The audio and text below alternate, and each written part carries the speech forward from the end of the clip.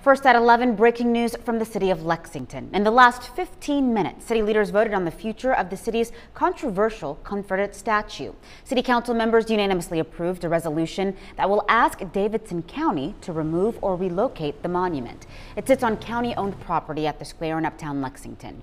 Mayor Newell Clark says he's wanting he's been a longtime supporter of moving that monument. We're going to hear from him coming up at 11 over on WXII 12.